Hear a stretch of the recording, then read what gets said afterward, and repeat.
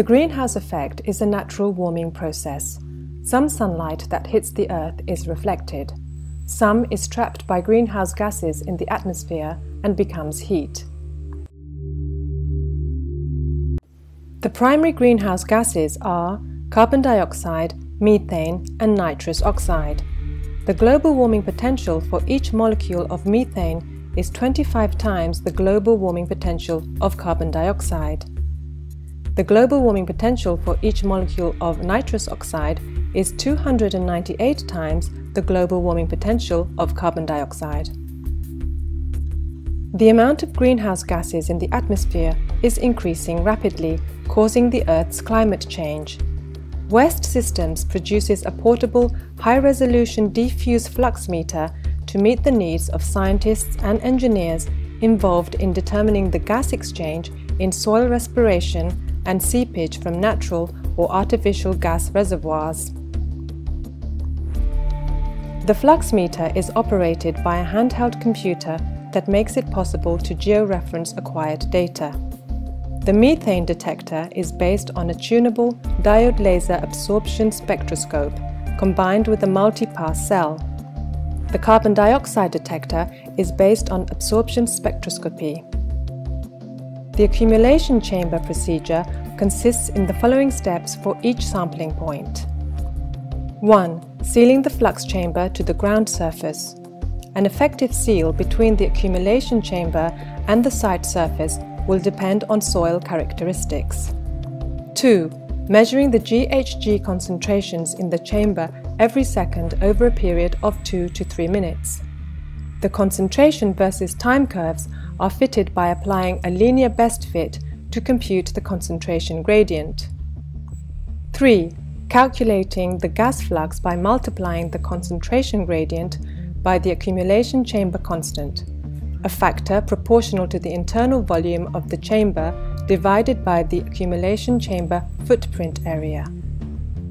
The accumulation chamber method is not affected by environmental parameters such as soil porosity. The obtained measurement is the effective rate of emissions from the examined area. West Systems flux meter can measure methane fluxes from 0.0005 to 1000 moles per square meter per day and carbon dioxide fluxes from 0.002 to 300 moles per square meter per day. The measurements can be extended to VOC, or volatile organic compounds, nitrous oxide and other gas species. The normal soil respiration in a rice paddy produces methane fluxes ranging between 0 to 0.01 moles per square meter per day and carbon dioxide fluxes ranging between 0.003 to 1 moles per square meter per day. La Bacanella represents a practical example of an anomalous degassing area. Let's measure diffuse emissions with West Systems portable flux meter in several points of this area. Let's seal the flux chamber to the ground surface. After that, let's take the measurement. GHG concentrations in the chamber are measured every second over a period of 2 to 3 minutes. The concentration versus time curves are fitted by applying a linear best fit to compute the concentration gradient.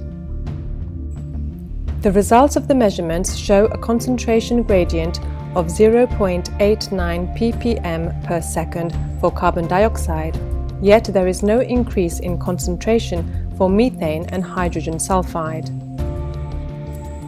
Let's compute the fluxes by multiplying the concentration gradient by the accumulation chamber constant.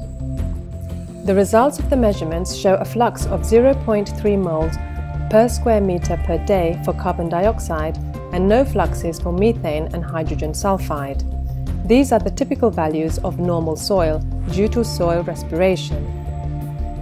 Let's repeat the measurement in another area, which shows marked anomalies following the same steps as before, sealing the chamber, measuring the gas concentration every second for 2 to 3 minutes. In this case, the measurement results show a concentration gradient of 160 ppm per second for carbon dioxide, 0.37 ppm per second for methane, and 0.036 ppm per second for hydrogen sulfide. For this sampling point, we observe a very high increase in carbon dioxide concentration and also an increase of methane and hydrogen sulfide concentrations. Computing these concentration gradients as before, we observe that for this sampling point, we have a carbon dioxide flux of 55 moles per square meter per day, a methane flux of 0.13 moles per square meter per day, and a hydrogen sulfide flux of 0.012 moles per square meter per day. These values represent a very important anomaly.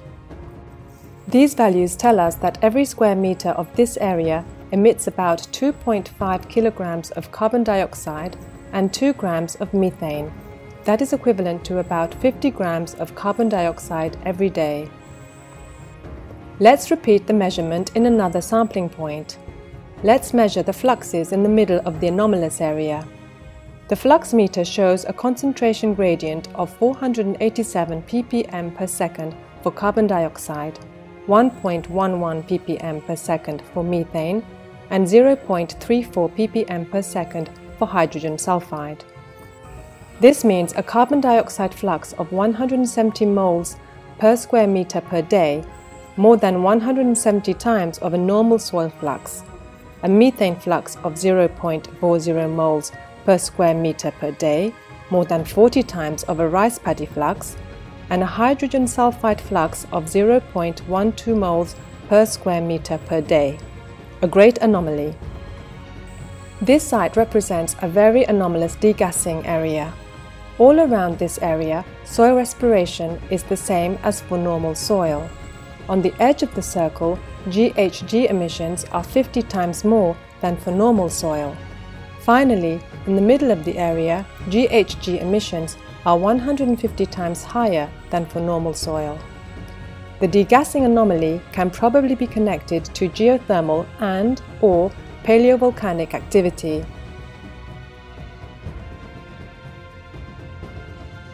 West Systems flux meters are also used for volcanological surveillance, especially for carbon dioxide and hydrogen sulfide.